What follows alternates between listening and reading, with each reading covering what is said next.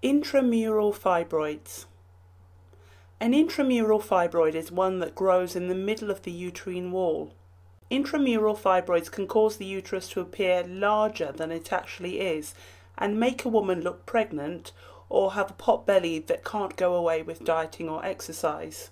Typical symptoms include excessive menstrual bleeding, menstrual clots, painful periods, feeling bulky, constant pelvic pain or pressure, and bladder or colon problems such as frequent urination, problems in urinating, or constipation, which are all caused by the fibroid pressing on nearby organs.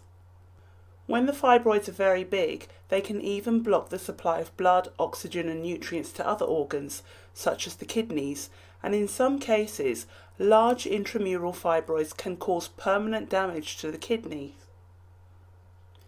Intramural fibroids can also have a negative effect on fertility, and the Mount Sinai School of Medicine in New York reported that women with these types of fibroids experienced 11% less pregnancies than women with submucosal fibroids and 58% more miscarriages. They also reported an increased risk of caesarean and preterm delivery.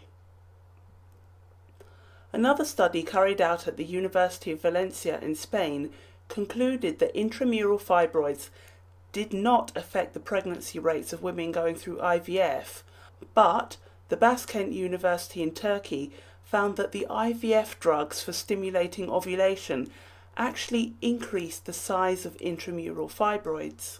The most common medical treatment for intramural fibroids is abdominal myomectomy.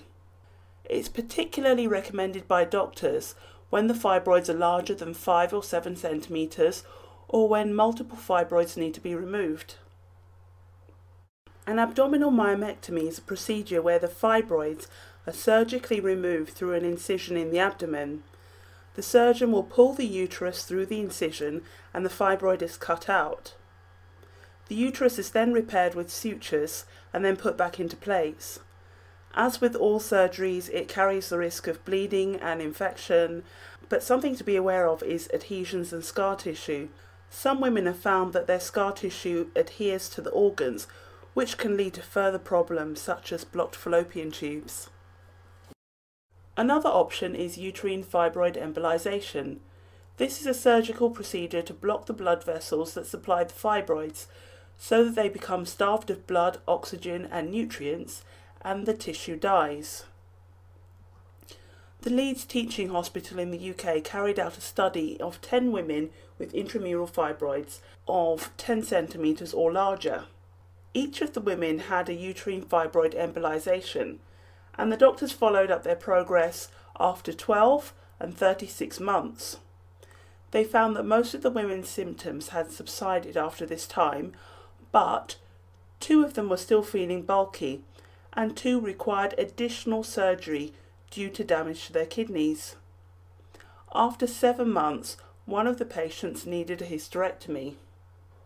Although the doctors concluded that uterine artery embolization was a safe procedure, if you look at the statistics, 20% of the women who went through the surgery needed additional surgery.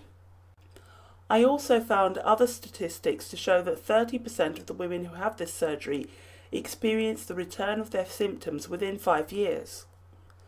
Another complication of uterine artery embolization is heavy vaginal bleeding. The McGill University in Canada studied two women who were experiencing abnormal bleeding after going through the procedure for their intramural fibroids. Surgeons performed an endometrial biopsy and found that both women had necrotic fibroids. The word necrotic means um, when tissue has died due to a lack of blood supply. That's exactly the purpose of a uterine artery embolization. Shortly after the biopsy, both women developed a septic uterus and required a hysterectomy. In their report, Doctors concluded that uterine artery embolization, especially when performed for intramural fibroids located close to the uterine lining, carried a very high risk of infection. This makes sense as the dead tissue created by uterine artery embolization can attract a lot of bacteria. So, if you're not interested in risky procedures that result in dead tissue in your uterus, or further surgeries, or a hysterectomy, you'd really benefit from looking into natural and alternative remedies for your intramural fibroids. There's no side effects, no infection, no organ damage, and no hospital stays with natural remedies. Natural remedies are suitable for women of all ages, including women who've just been diagnosed with their fibroids, women who want to get pregnant with their fibroids, or women who have gone past menopause and still have fibroids. And natural remedies are also suitable for all different types of fibroids. You can find out more about these natural remedies at www.fibroidsetc.com.